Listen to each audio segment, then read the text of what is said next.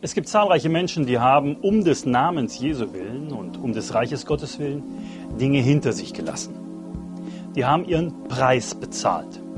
Die haben beispielsweise ihren Beruf dran gegeben, um im Reich Gottes zu arbeiten. Die haben ihr Haus verkauft, um aufs Missionsfeld gehen zu können und so weiter. Die haben ihr gewohntes Umfeld mit lieben Menschen verlassen, um irgendwo äh, den Namen Jesus bekannt zu machen. Und nicht wenige von diesen Menschen empfinden, dass da ein Verlust ist, weil das, was sie da bezahlt haben, was sie hinter sich gelassen haben, ihre Sicherheiten, ihre Freunde, eben auch ihre berufliche Existenz, das ist etwas, was irgendwie so ein, da ist eine gewisse Trauer, dass sie so viel hinter sich lassen mussten. Aber ich möchte dir eine Verheißung aus der Bibel weitergeben, die Jesus seinen Jüngern gibt. Er sagt, wenn ihr etwas hinter euch gelassen habt, und zwar Sicherheiten im beruflichen oder euer Lebensumfeld, auch Verwandte, Freunde und so weiter, ihr werdet es wiedererstattet bekommen. Mir geht es jetzt insbesondere um das, was Jesus hier mit Häuser und Äcker beschreibt. Häuser, das ist das Lebensumfeld, wirklich deine Sicherheit, wo du wohnst, ja, was dein Leben ausmacht. Und Äcker ist das, wo du arbeitest und wo du den Lebensertrag herausholst. Beruf, das Arbeitsumfeld. Wenn du in diesen beiden Bereichen Dinge hinter dir gelassen hast, um des Reiches Gottes willen, dann gibt es eine geniale Verheißung.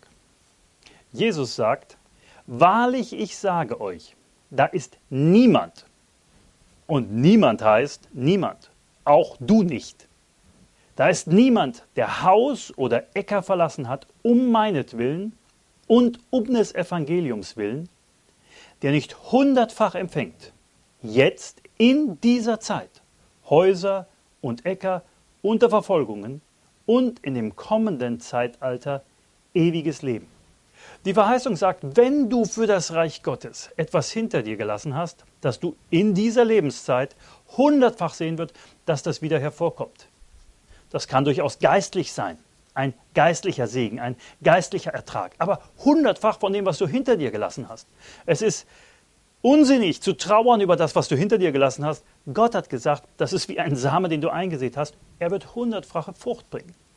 Und wenn du das in deinem Leben noch nicht erlebt hast, dann kannst du dieses Wort nehmen und genau dafür beten, dass du sagst, Gott, du hast mir hundertfach ähm, eine Erstattung versprochen. Das steht mir zu, das ist dein Wort, das ist wie ein Vertrag.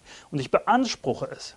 Ein Beispiel, wenn ein ähm, Mensch beispielsweise im Beruf Menschen unter sich hat, einfach ähm, Vorgesetzter ist und Menschen, ihm anvertraut sind, ja, und er verlässt diesen Beruf um des Reiches Gottes willen, dann kann dieser Mann beten und sagen, ich habe so und so viele Menschen, die mir unterstellt waren, hinter mir gelassen. Gott, ich bitte um hundertmal so viele Menschen, die du mir als geistliche Frucht gibst. Das ist ein korrektes äh, Gebet gemäß diesem Wort. Und ich möchte dich einfach einladen, dass du überlegst, wo hast du um des Reiches Gottes willen Dinge hinter dir gelassen und dass du sagst, ich werde geistlich hundertfachen Erfolg, hundertfachen Ertrag einfach ähm, erwarten. Ich werde dafür beten. Ich nehme dieses Wort ernst. Auch in anderen Evangelien wird das erwähnt. Da heißt es beispielsweise, und ein jeder, der Häuser oder Äcker um meines Namens willen verlassen hat, wird hundertfach empfangen und ewiges Leben erben. Wenn es dich etwas gekostet hat, für das Reich Gottes und im Namen Jesus tätig zu sein, dann nimm dieses Wort und bete darüber. Ich bin gewiss, der Herr wird in deinem Leben diese hundertfachen Ertrag, diese hundertfache Frucht hervorbringen, wie er es hier verheißen hat. Ich bin gewiss. Gott hat mehr für dich.